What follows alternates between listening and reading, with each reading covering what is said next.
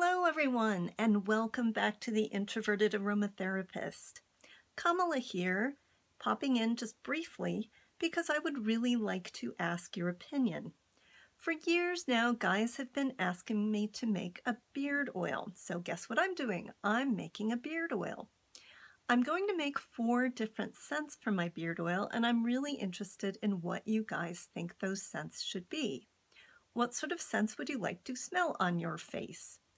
So, if you are a guy with a beard, if you are dating a guy with a beard, if you are married to a guy with a beard, if your dad is a guy with a beard, if you know a guy who knows a guy who knows a guy with a beard, um, please let me know what you think about this.